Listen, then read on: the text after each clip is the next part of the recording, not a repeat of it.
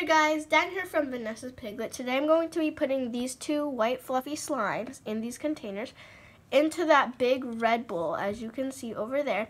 And those two white slimes combined together are actually like very big. And I also have a surprise for you guys, so let's just get straight on to the video.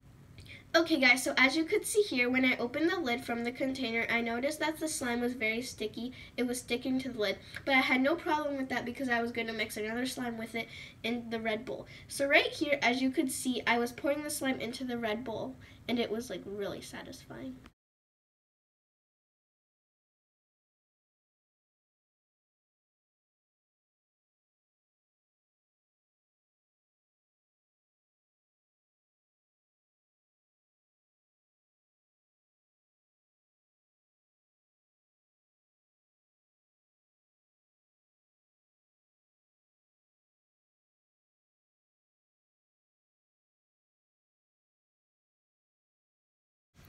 Okay guys, so now I got the other slime and I took it out of the container. I noticed this one was like a bit more bubbly and sizzly when I touched it.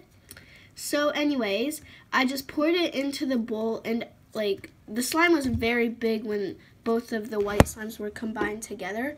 And this one sort of reminded me of cloud slime. I don't think you guys could see it, but when I was pouring the slime in the bowl, it looked like there was cloud slime, but really there was not.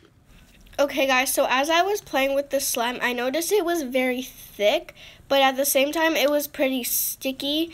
And also as you could see on my hand, there was a bit of grease. I didn't know if that was like from the borax solution or something about my hand or something about the slime. So yeah, I was curious about that too. Anyways, thank you guys all for watching. Hope you have an amazing day. Bye!